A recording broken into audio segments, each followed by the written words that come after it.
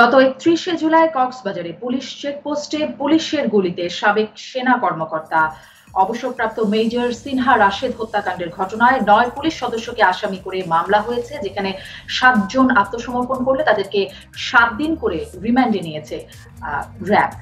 এই ঘটনায় সিনহা রাশেদ নিহতের ঘটনায় ইতিহাসে প্রথম সেনাপ্রধান জেনারেল আজিজ আহমেদ এবং পুলিশ প্রধান ডক্টর বেনজির আহমেদ।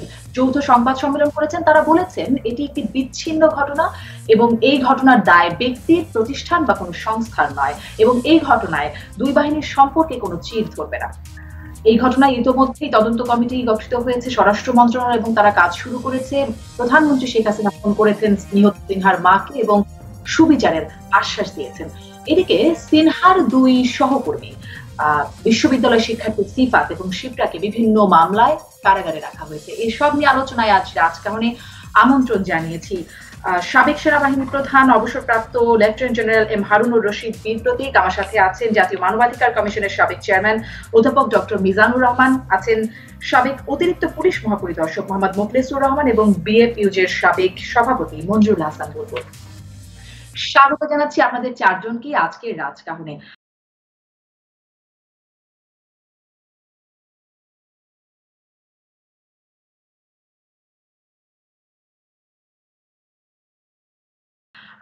আমি প্রথমে যে প্রশ্নটি আপনাদের সবার কাছেই করতে চাই, ঘুরে ঘুরে আসতে চাই যে সিনহা রাশেদ হত্যাকাণ্ড বা পুলিশের গুলিতে নিহতের ঘটনায় আমরা ইতিহাসে প্রথমবারের মতো একটা একটা নজিরবিহীর ঘটনা দেখলাম। দুই বাহিনীর প্রধান, সেনা প্রধান এবং পুলিশ প্রধান যৌথ সংবাদ সম্মেলন করলেন। এখান থেকে আসলে কি বার্তা পেলেন? আমি lieutenant general M Harun Rashid আপনার কাছ থেকে শুরুতে জানতে চাই। ধন্যবাদ আপনাকে। এটা অগাস্ট মাস। শোকের মাস। যে কোনো কিছু বলতে গেলে প্রথমে জাতিজনক প্রতি শ্রদ্ধা জানাতে হয়। সংক্ষেপে আমি বলি, এই প্রেস ব্রিফিং বলেন বা প্রেস কনফারেন্স বলেন দুই বাহিনী প্রধান করব এটা অত্যন্ত প্রয়োজনীয় ছিল এবং যথোপযুক্ত এতে দুই বাহিনীর সদস্যদেরকে আশ্বস্ত করা হয়েছে যে ঘটনার সুষ্ঠু তদন্ত হবে এবং এটা বিচার কার্যক্রম চালানো হবে। আপনি যেভাবে বলেছেন এই নিয়ে আরও বিস্তারিত আলোচনা করা হবে। কিন্তু আমি মনে করি এটা অত্যন্ত প্রয়োজনীয় এবং সময় উপযোগী পদক্ষেপ। অনেক ধন্যবাদ। আপনি সময় উপযোগী বলছেন। জনাব মুখলেসুর রহমান আপনি আপনি কি বার্তা পাচ্ছেন? কীভাবে মূল্যায়ন করছেন? দেখুন এটি একটি অত্যন্ত দুঃখজনক ঘটনা অনভিপ্রেত ঘটনা। এই ঘটনায় আমাদের সেনাবাহিনীর প্রধান উনি তো পরিষ্কার করে বলেছেন যে এটা দুই বাহিনীর সকলেই মর্মাহত। এবং আমরা সাধারণ নাগরিক হিসাবেও আমরা খুবই মর্মাহত। এই ধরনের কোনো ঘটনা ঘটুক, এটা আমরা কখনোই চাই না, কোনোভাবেই চাই না। যারা আইন প্রয়োগ করেন, তাদেরকে কিন্তু একটা সীমার মধ্যে থাকতে হয়। একটা সীমাবদ্ধ জায়গায় থাকতে হয়। এটা আইনের দ্বারা আইনের চৌহদ্দির মধ্যে তাদেরকে থাকতে হয় এবং এই চৌহদ্দিটা থেকেই তাদেরকে সমস্ত আইনগুলো প্রয়োগ করতে হয় সাধারণ মানুষের কল্যাণার্থে।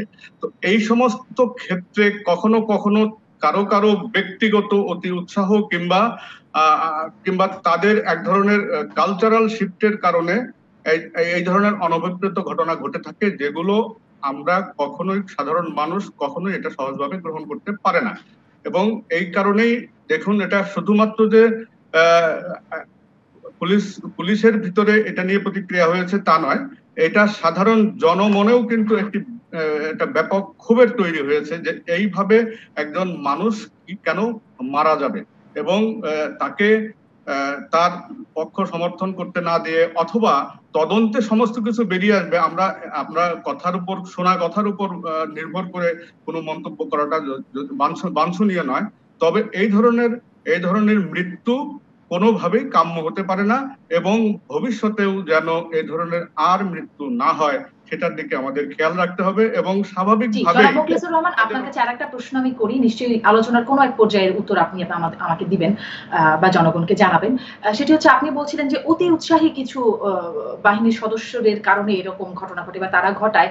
তাদেরকে কি কোনো জবাবদিহিতার আওতায় আনা হয় না? মানে যেমন সিনহার ঘটনায় আমরা যেটি দেখছি এর আগে এই ওসি প্রদীপ তার মানে তিনি দায়িত্ব টেকনাফ থানার দায়িত্ব নেওয়ার পরে একশো জনের বেশি মানুষ এরকম বন্দুক যুদ্ধে নিহত হয়েছেন। এগুলো কি কোনো জবাবদিহিতা থাকে না? এই বিষয়টি নিশ্চয়ই আপনি একটু পরবর্তীতে কোনো এক সময় স্পষ্ট করবেন। আমি ডক্টর মিজানুর রহমান আপনার কাছ থেকে জানতে চাই যে কি বার্তা পেলেন দুই বাহিনী প্রধানের সংবাদ সম্মেলন থেকে? দেখুন, আমি বোধহয় একটু অস্বস্তি নিয়ে বলতে হচ্ছে যে আমি একটা ভিন্ন একটি বার্তা পেয়েছি। এবং সে বার্তাটি হচ্ছে যে বাংলাদেশ নামক রাষ্ট্রটি ক্রমশই সাধারণ জনগণের কাছ থেকে অনেক দূরে সরে যাচ্ছে। এখানে আমার যদি উর্দি থাকে, তাহলে আমি একরকম ব্যবস্থা একরকম। আর আমি যদি সাধারণ নাগরিক হই, তাহলে ব্যবস্থা অন্যরকম। আপনার হয়তো জানা থাকতে পারে, আইন সালিশ সালিশ কেন্দ্রের হিসেব অনুযায়ী জুলাই মাসের একত্রিশ দিনে ছত্রিশটি বিচার বহির্ভূত হত্যাকাণ্ড এই বাংলাদেশি হয়েছে। জনাব মকলিস মকলিস রহমান সাহেব যে মর্মাহত, আজকে আমি জানি না সেই ছত্রিশটি ঘটনার ক্ষেত্রে উনি সমভাবে ব্যথিত এবং মর্মাহত কি না কিন্তু আমরা দেখছি যে সাধারণ মানুষের ক্ষেত্রে আমরা মর্মাহত হই না। তখন আমরা এরকম এত সবকিছু রাষ্ট্রযন্ত্রকে ব্যবহার করে ত্বরিতভাবে সবাইকে আশ্বাস দেয়া এবং ন্যায় বিচার নিশ্চিত করবার যে পদক্ষেপগুলো নেওয়া হচ্ছে, সেগুলো কিন্তু আমরা লক্ষ্য করি না। যে কোনো মৃত্যুই অস্বাভাবিক যে কোনো মৃত্যুই কিন্তু অনাকাঙ্ক্ষিত, অস্বাভাবিক যে কোনো মৃত্যুই দুঃখজনক, অস্বাভাবিক যে কোনো মৃত্যুই কিন্তু অগ্রহণযোগ্য একটি সভ্য সমাজে। এবং সেই দিক থেকে জনাব সিনার মৃত্যুটি অবশ্যই অনাকাঙ্ক্ষিত অনভিপ্রেত এবং দুঃখজনক। কিন্তু যেভাবে এর প্রতিক্রিয়াটি পরবর্তীতে চলছে। এতে করে আরও স্পষ্ট হচ্ছে যে সাধারণ মানুষের দেশ বাংলাদেশ বোধহয় আর থাকতে পারছে না। এটা বোধহয় বিশেষ বিশেষ কিছু মানুষের একটি রাষ্ট্রে রূপান্তরিত হয়ে যাচ্ছে ক্রমশই এবং এটা ব্যথিত করে একজন সাধারণ ডক্টর মিজানুর রহমান এজন্য তো মানবাধিকার কমিশন গঠিত হয়েছে। সাধারণ মানুষের মানবাধিকার সংরক্ষণ করবারও একটা দায়িত্ব তাদের উপর আছে। সাধারণ মানুষের সাথে যখন এরকম ঘটনা ঘটে তখন মানবাধিকার কমিশন কেমন ভূমিকা পালন করে? এই যে একশোটির মতো ঘটনা শুধুমাত্র ওসি প্রদীপের দায়িত্ব নেবার পর কালীনই ঘটলো। তারপর এই ঘটনাগুলোতে মানবাধিকার কমিশনের কেমন প্রতিক্রিয়া ছিল সেই সম্পর্কে আপনার বিশ্লেষণ নিশ্চয়ই পরবর্তীতে একটু জানব, আপনি বলবেন। আমি জনাব মঞ্জুল হাসান বলব আপনার কাছ থেকে জানতে চাই, কেমন ধরনের বার্তা পেলেন, কীভাবে মূল্যায়ন করেন দুই বাহিনী প্রধানের সংবাদ সম্মেলন আপনাকে ধন্যবাদ। আপনি সূচনা বক্তব্য যেটি বলেছেন যে বাংলাদেশ নামক রাষ্ট্রটির ইতিহাসে প্রথমবারের মতো দুইটি সুশৃঙ্খল বাহিনীর একটি যৌথ কনফারেন্সে বক্তব্য রাখলেন। হিসেবে আমরা যখন জনগণের পক্ষে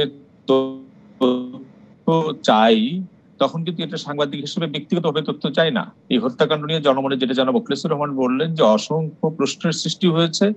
এর জবাব মানুষ চাইতে চাইছিল এবং জবাব চাইছিল উপযুক্ত কর্তৃপক্ষের কাছ থেকে। এবং যখন দুই বাহিনী প্রধান একসঙ্গে যৌথভাবে এই প্রেস কনফারেন্সটি করলেন। তখন দুইটি জিনিস স্পষ্ট হয়। একটি হচ্ছে যে তারা দুইটি প্রতিষ্ঠানের অভিভাবক হিসেবে তাদের দায়িত্বটি পালন করেছেন। এটা যেমন ইতিবাচক দিক। দ্বিতীয় ইতিবাচক দিকটি হচ্ছে যে তারা বিষয়টিকে সর্বোচ্চ গুরুত্ব দিয়েছেন। এবং সর্বোচ্চ গুরুত্ব দিয়ে মানুষকে, মানুষের এই আশ্বস্ত করেছেন যে একটি তদন্ত চলছে। তদন্তের মধ্য দিয়ে তারা দুইজনই বলেছেন, তদন্তের মধ্য দিয়ে যে রিপোর্টটি এসে, যে সুপারিশ আসবে, সেটি তারা গ্রহণ করবেন। আপনি জানেন যে আপনিও একজন গণমাধ্যম কর্মী হিসেবে, আমরা সবসময়ই বলি যে যখনই কোনো ঘটনা ঘটে, সেটি লুকিয়ে রাখার বা গোপন রাখার বা তথ্য প্রকাশ না করার প্রবণতা আরও সন্দেহের সৃষ্টি করে। এই প্রেস কনফারেন্সটি সেই চমৎকার দৃষ্টান্তটি স্থাপন করল। আমি সেই দিক থেকে আমি জনাব মিজানুর রহমানের সাথে একমত যে শুধুমাত্র এই বিষয়টি নয়, রাষ্ট্রের আরও অনেক বিষয়ে যখন মানুষের মধ্যে অনেক পৃষ্ঠের সৃষ্টি হয়, শুধুমাত্র সেনা প্রধান বা পুলিশ বাহিনী প্রধান নন, অন্য অনেক দপ্তরের প্রধানরাও যদি এইরকম গণমাধ্যমের সামনে এসে বলেন যে তারা বিষয়টির দিকে নজর রাখছেন, তাহলে মানুষ অন্তত এইটুকু আশ্বস্ত হয় যে বিষয়টি সর্বোচ্চ কর্তৃপক্ষের নজরে আছে। জনগণের কাছ থেকে কোনো তথ্য গোপন করার চেষ্টা করা হচ্ছে না, কেউ দায়িত্ব এড়ানোর চেষ্টা করছে না। আমি এই প্রেস কনফারেন্সটি যেটি আপনি বলেছেন যে বাংলাদেশের ইতিহাসের দৃষ্টান্তমূলক একটি ঘটনা, আমি এই দৃষ্টান্তটিকে স্বাগত জানাই। আমি আশ্বস্ত বোধ করছি যে দুইজন অভিভাবক দুইটি প্রতিষ্ঠানের অভিভাবক, তারা জনসম্মুখে এসে তাদের কথা বলেছেন এবং তার মধ্যে দিয়ে মানুষের মধ্যে স্বস্তিটি এসছে এবং তথ্যের যখন অবাধ প্রবাহ থাকে, তখন মানুষের মধ্যে অনেক প্রশ্ন থাকলে সেই প্রশ্নের জবাবের নিষ্পত্তি হয় এবং মানুষ স্বস্তি বোধ করে। কাজে আমিও সাধারণ মানুষের মতোই স্বস্তি বোধ করছি।